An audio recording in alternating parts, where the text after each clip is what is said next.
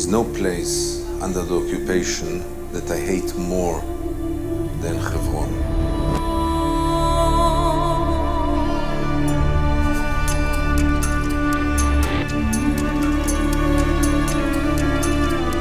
In Hebron, you get really the occupation in its most brutal, cruel expression. The Jews of Hebron are heroes hardly shows them. There are 500 of them. You dispute that? This is not your land. Surrounded by 120,000. God gave it to me. Very, very hostile Muslim.